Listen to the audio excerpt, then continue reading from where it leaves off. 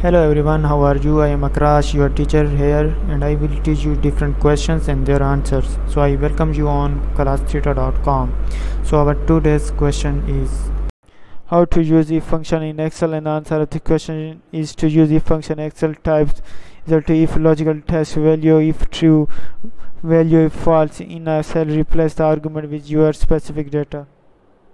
Thank you for watching the video. If you have any question related to this video, please post a comment below. If you have any question in your mind, you can also post on the website and I will be answering you in the next video. Thank you for engaging with us. Until next video, bye bye.